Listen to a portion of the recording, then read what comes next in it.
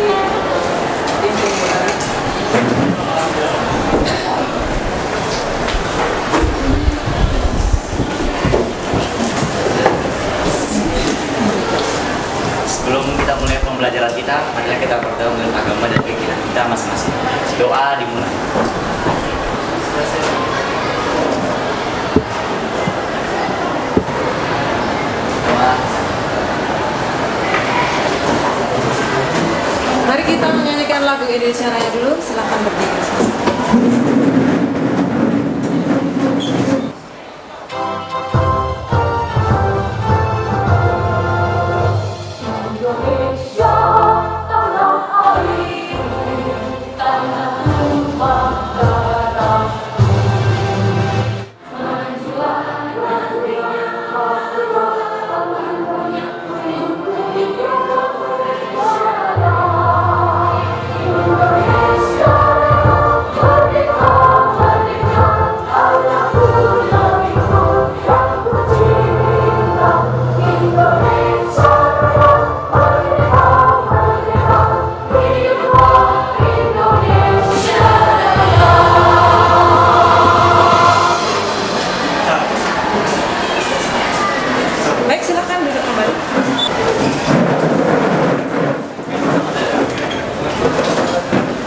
Hari ini masuk semua ya.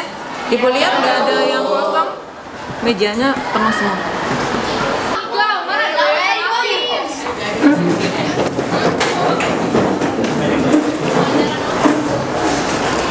Kata motivasi hari ini, kenali dulu sebelum memutuskan. Eh, supaya kita semangat, kita hari ini akan mendengarkan lagu Jingle Sikapi ya. Nanti kalian akan tahu maksudnya apa itu kenali dulu sebelum memutuskan. Simak baik-baik ya.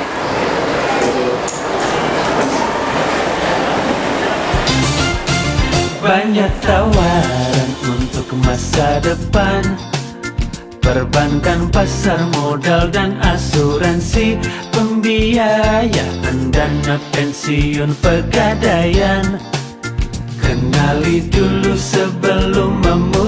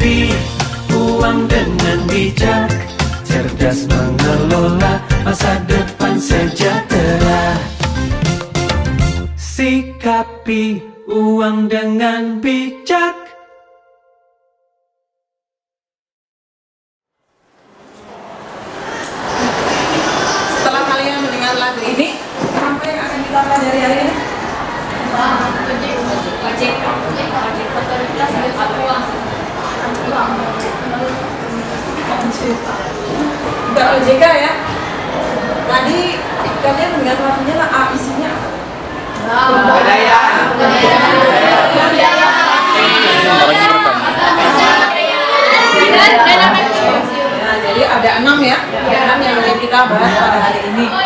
Nah, sebelum kita membahas lebih lanjut tentang IJK, Ibu akan menyampaikan dulu indikator dan.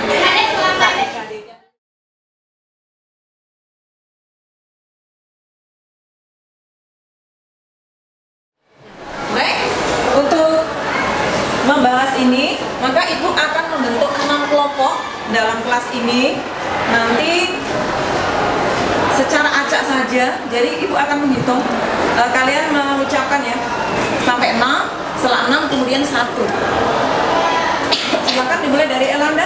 satu dua tiga empat lima enam Satu, dua, tiga empat lima enam satu dua tiga empat lima Ya, sudah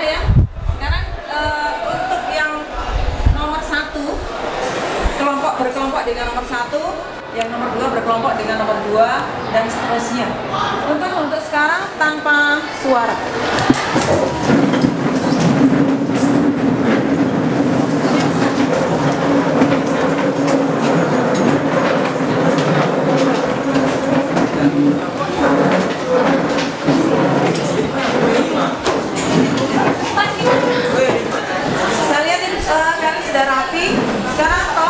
satu dipilih ketua, eh, maksudnya setiap kelompok dipilih salah satu ketuanya.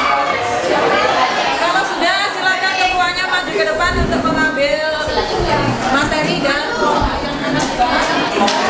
silakan ambil satu-satu dari setiap kelompok kelompok mengambil apa yang akan dibahas dan nomor nomor berapa ya atau kelompok nomor satu dua dan seterusnya.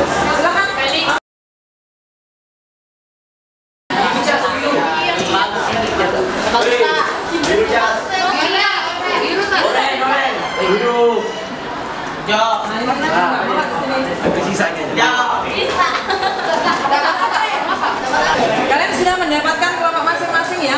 Sudah. Dan sudah tahu kelompok satu apa, kelompok dua apa, dan seterusnya. Untuk itu, maka setiap kelompok supaya mengambil UKBM-nya di sini sesuai dengan yang kalian ambil tadi, sesuai dengan kalau kelompok satu bank ya berarti bank dan seterusnya. Silakan mengambil ke depan.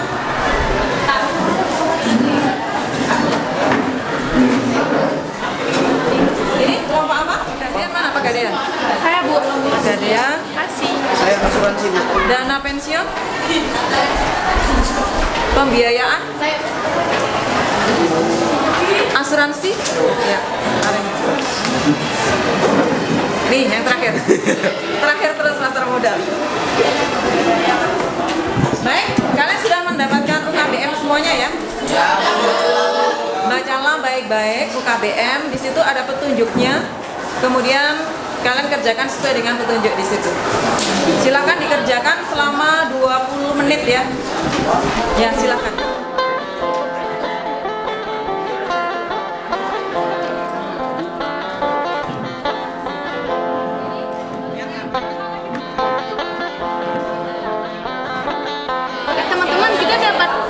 Tentang dana pensiun nih. Eh, mari kita tentukan KBM-nya yuk. Iya, dan ini ada lima indikator. Oh ya, siap. Pertanyaan kan ada 5 W sama satu Ya maka dari itu untuk mempersingkat waktu, aku bakalan bagi tugas-tugas dari kalian. Siapa mau jadi penulis? Apa nih jadi tujuannya? Eh, aku pengertiannya lah. Kalau yang tentang peran sama produknya siapa? Ya udah biar aku yang peran. Ya berarti aku kebagian produk lah. Oke, semuanya kan udah dapat tugas nih. Jadi sekarang waktunya untuk eh, bikin jawaban dan pertanyaannya masing-masing satu ya. Jangan lupa waktunya hanya 10 menit. Oke.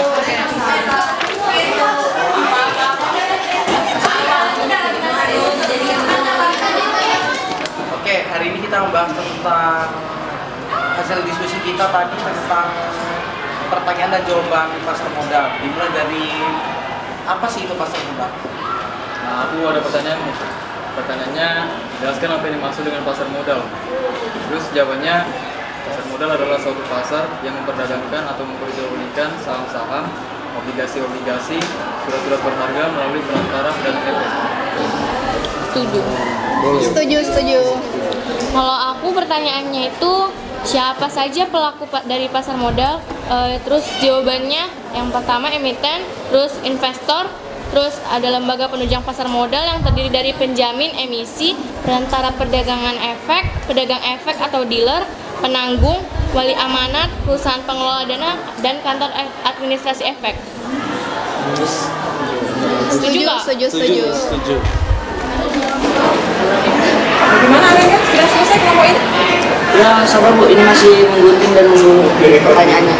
Oh iya, ya nggak apa-apa dilanjutkan aja. Eh, untuk kelompok ini semua ya, BKL, sarannya, kemudian sel, harus pastikan bahwa kalian nanti kalau menjelaskan bisa ya. Jadi harus tahu semuanya. Tentang asuransi, baik itu pekerjaan, pajaknya, jadi kalian juga jadi harus bisa ya jadi segera digulung nanti kalau sudah dimasukkan di aqua yang sudah disiapkan ya ya Abdul bagian penulisnya ya? Iya Bu. gimana sudah sampai? Nomor berapa? Nomor tiga Bu. oh nomor tiga. Yang 45 sudah? Sudah Bu. oh sudah nanti kalau sudah segera dipotong-potong ya. Yang lain segera membantu memotong menggulung supaya cepat selesai. Baik lanjutkan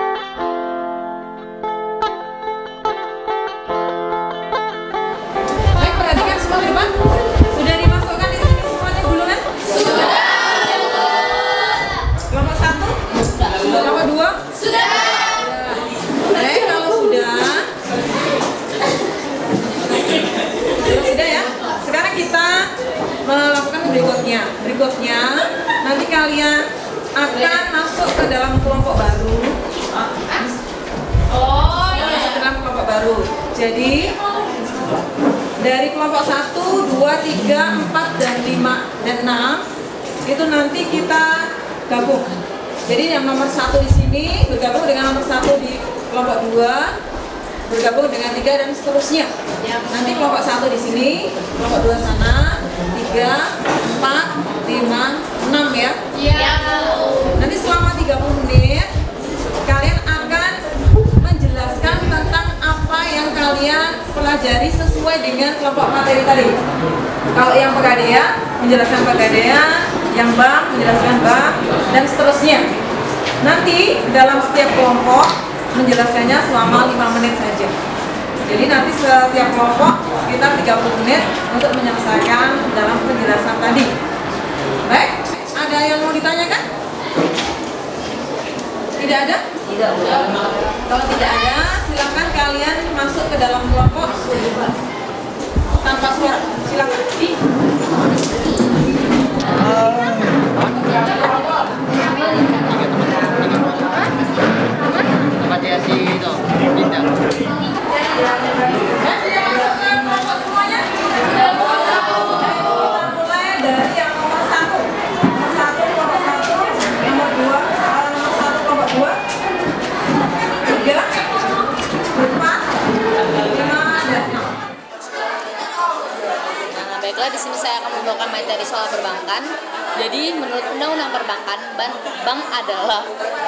badan usaha yang menghimpun dana dari masyarakat dalam bentuk simpanan dan menyalurkannya kepada masyarakat dalam bentuk kredit atau dalam bentuk-bentuk lainnya yang meningkatkan taraf hidup orang banyak.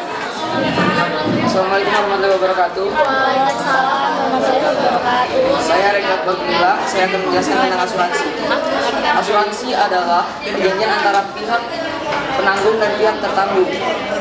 Di dalam asuransi, sang pihak tertanggung harus membayar beberapa biaya dalam jangka waktu tertentu yang kita biasa tahu. Dan pihak penanggung mengeluarkan mengeluarkan surat perjanjian yang berisi syarat bagaimana dia mengganti apa yang telah diasuransikan oleh si tertanggung yang, yang kita biasa sebut dengan polis.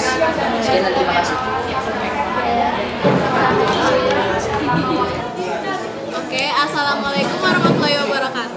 Waalaikumsalam.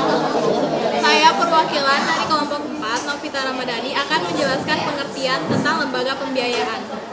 Eh, pengertian lembaga pembiayaan tercantum pada peraturan presiden nomor nomor 9 tahun 2009 yaitu lembaga pembiayaan adalah badan usaha yang melakukan kegiatan pembiayaan dalam bentuk pe- penyediaan dana atau barang modal. Sekian, terima kasih.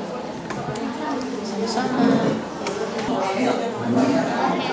siang. Siang. Saya Christine dan di sini saya akan menjelaskan sedikit tentang apa itu dana pensiun. Tapi sebelumnya saya menjelaskan bahwa dana pensiun dan pensiun sendiri itu berbeda. Karena pensiun adalah hak seseorang yang mendapatkan penghasilan setelah sekian tahun bekerja dan setelah setelah memasuki usia senja. Sedangkan dana pensiun sendiri adalah badan hukum yang mengelola dan menyelenggarakan manfaat pensiun. Dan dana pensiun ini diatur dalam Undang-Undang Nomor 11 Tahun 1999.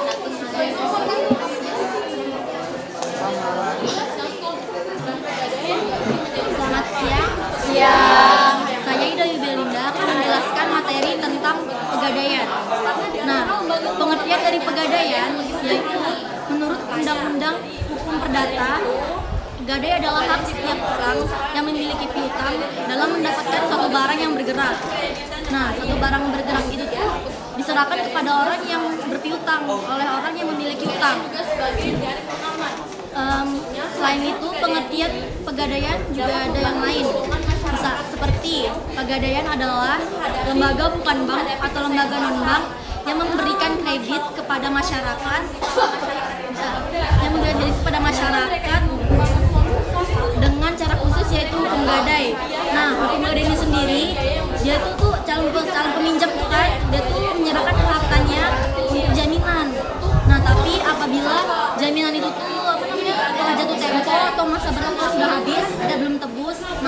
bank itu akan dilelang. Sekian dari penjelasan tentang pegadaian. Terima kasih.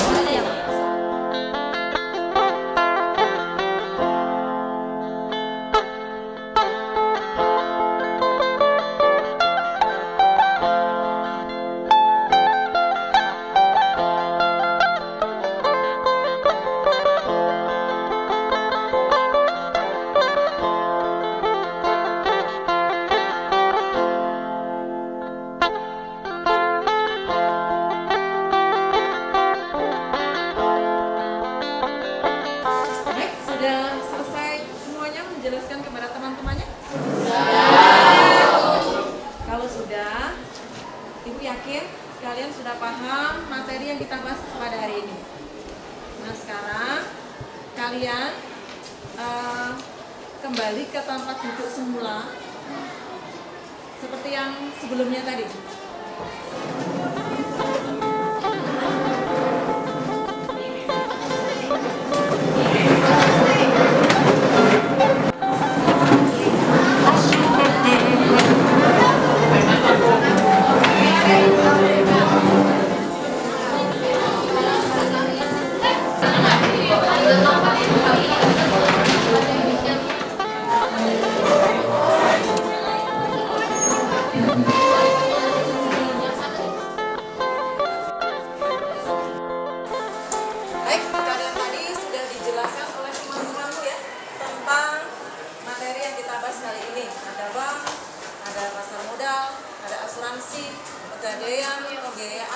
Dana pensiun. Sudah yakin ya? Menguasai semua ya? Insya Allah. Insya Allah ya. Harus yakin. Nah, sekarang berikutnya ini ada steak ya. Nanti steak ini akan ibu serahkan pada Elanda. Kemudian ibu akan memutar lagu yang kalian lihat tadi.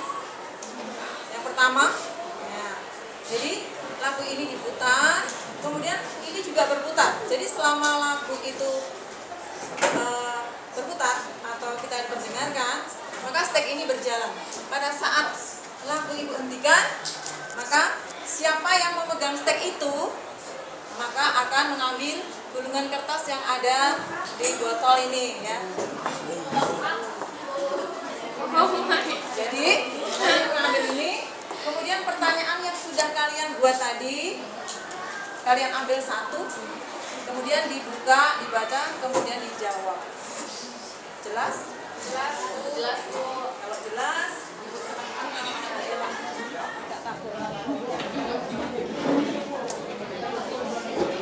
Siap ya? Kita mulai ya. Banyak tawaran untuk masa depan Perbankan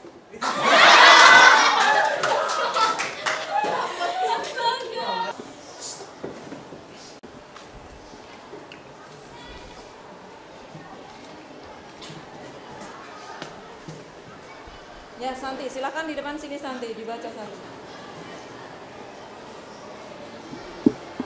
Em, soal yang saya dapatkan, siapa saja yang boleh melakukan pegadaian? Jawabannya itu yang bisa melakukan pegadaian adalah em, seseorang yang sudah berumur 18 tahun 18 tahun atau lebih dan orang yang sudah menikah. Bagaimana?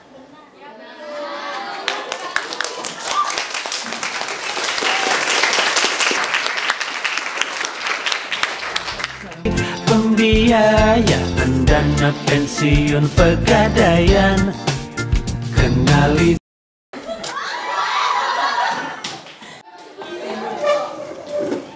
Kenapa aku ibu yang lihat?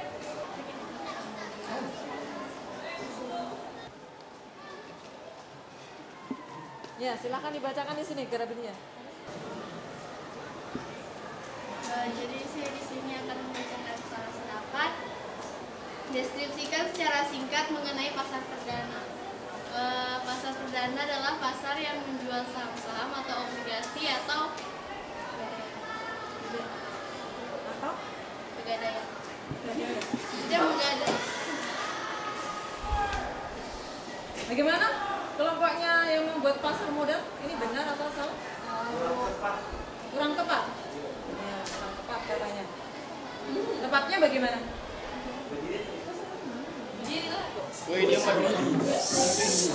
Kalau menurut artis, kalau menurut artis sempitnya itu pasar perdana ialah penawaran pertama kali yang diberikan emiten atau perusahaan tersebut ke para pemodal.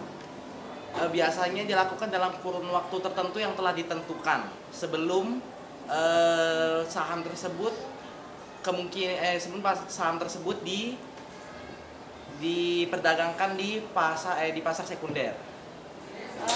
Grabilia. Jadi pasar perdana itu yaitu pasar yang menjual saham saham yang dikeluarkan oleh perusahaan yang baru go public. Jadi yang baru pertama kali dijual sebelum dijual di pasar sekunder itu namanya pasar modal. Ya. Semuanya tahu ya? Bagaimana semuanya? Mengerti? Ya mengerti Bu. Baik. Tidak apa-apa, beda-beda nggak? Kalau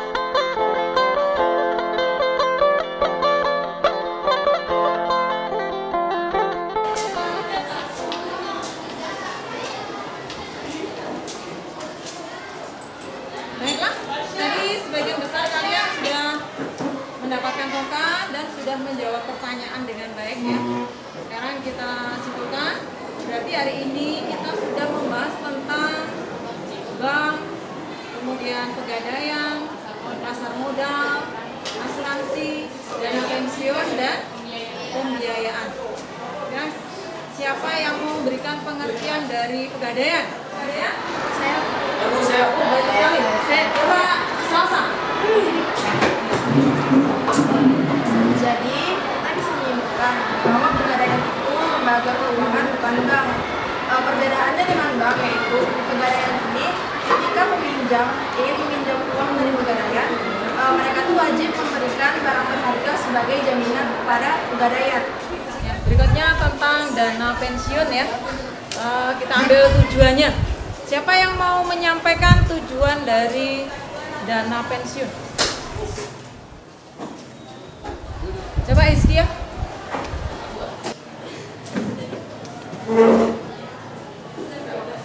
Jadi Bu tujuannya an- apa dana pensiun itu apa sebagai penyedia biaya hidup di hari tua. Habis itu sebagai peningkatan ekonomi dan sebagai motivasi bagi ketenaga kerjaan. Maksudnya sebagai motivasinya itu jadi pekerja itu nanti apa? Mereka kalau kerja tuh tenang karena mereka memiliki dap- dapat mendapatkan dana pensiun. Dua ya? Iya. Ya. Bagus, terima kasih. Saya mau menyimpulkan tentang jenis-jenis pasar modal. Saya mau menyimpulkan tentang pasar modal. Jenis-jenis pasar modal itu ada dua macam yaitu pasar perdana dan pasar sekunder. Pasar perdana adalah penawaran saham pertama kali dari emiten kepada para pemodal sebelum sebelum selama waktu yang ditentukan oleh pihak penerbit atau issuer sebelum saham tersebut belum diperdagangkan di pasar sekunder. Jadi sudah kita simpulkan secara keseluruhan baik tentang ada 6 IJK tadi ya. Nah, jadi kalian boleh menggunakan produk-produk pada IJK tadi, baik bank maupun sampai pegadaian ya, 6 ya. Bisa menjadi nasabah bank, bisa kita menggunakan asuransi, bisa juga kita berinvestasi di pasar modal. Tapi untuk itu atau untuk menjadi nasabah atau kita menggunakan produknya kita harus seperti yang ibu katakan tadi kenali sebelum memutuskan Eh, untuk bagian yang kedua ibu akan memberikan tugas untuk kunjungan ke IJK yang ada di kota Tarakan jadi nanti kalian setiap kelompok akan berkunjung atau mengunjungi IJK yang ada di kota Tarakan sesuai dengan materinya tadi. Kalau yang bank ya ke bank, kalau pegadaian ya ke pegadaian. Kalau di sini ada pasar modal nggak? Ada. Di mana? Tidak ada. Tidak ada ya. Kelompoknya maksudnya. Kalau tidak ada, kalian nanti bisa mengunjungi web dari pasar modal. Jadi laporan kalian bisa diambil dari web yang kalian buka. Jadi kan nanti untuk yang ada di Kota Tarakan, kalian bisa langsung ke bank atau ke pegadaian. Dan untuk tagihannya kalian nanti harus mengumpulkan laporan. Ini sudah ibu siapkan. Jadi seperti ini formatnya. Kalian nanti bisa pelajari ini. Kemudian kalau misalnya ada kesulitan bisa tanya ke ibu. Baik? kalau begitu Ibu akhiri untuk pembelajaran hari ini. Nanti untuk surat-surat ke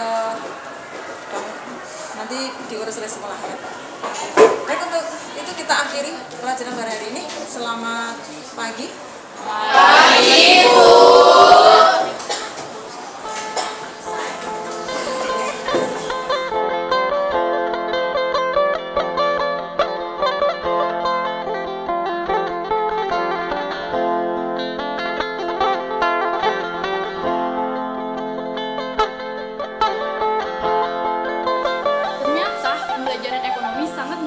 Apalagi materi industri jasa keuangan ini disampaikan dengan talking stick yang unik.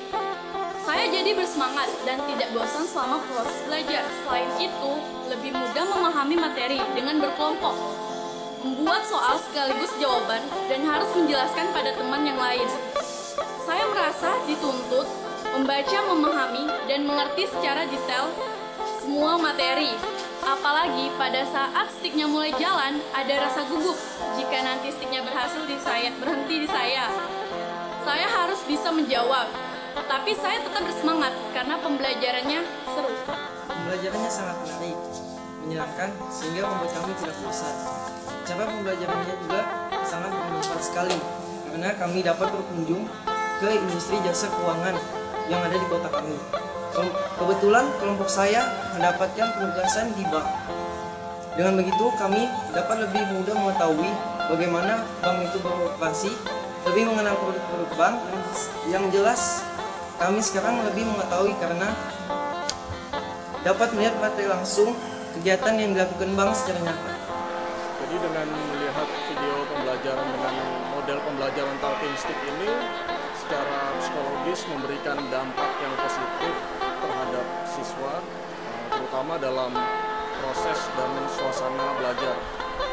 Hal ini terlihat dari siswa yang semakin antusias dalam melaksanakan kegiatan pembelajaran dan melaksanakan setiap penugasan pada langkah-langkah pros- proses pembelajaran eh, yang memberikan kesempatan kepada siswa untuk lebih berkembang dan tidak memberikan peluang kepada siswa untuk santai.